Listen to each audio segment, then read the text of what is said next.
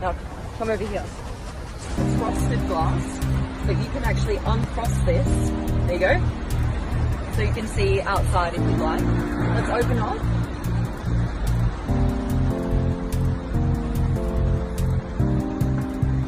Here we are, ride sharing. This is the future of the smart car. And because you're ride sharing, they've thought of something here. This is hand disinfectant. So you can get disinfectant on your way in, disinfectant on your way out, off you go. That's kind of cool. This is storage here. Also storage under here if you have something, you can pull this up and store it underneath. This center console can go down if you know the person you're sitting next to. Otherwise you can keep it up. Jump in. Okay, let's go